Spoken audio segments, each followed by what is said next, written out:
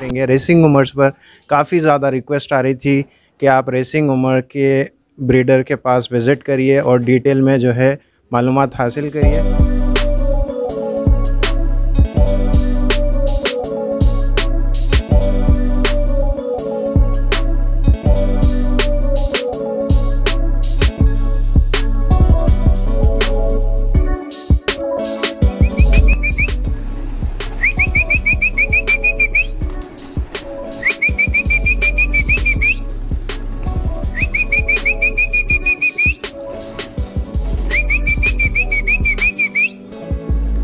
Open derby category में bird fly हुई है और अल्हम्दुलिल्लाह मेरे पास लॉफ्ट में 135 किलोमीटर में इसका पोजीशन नहीं आया।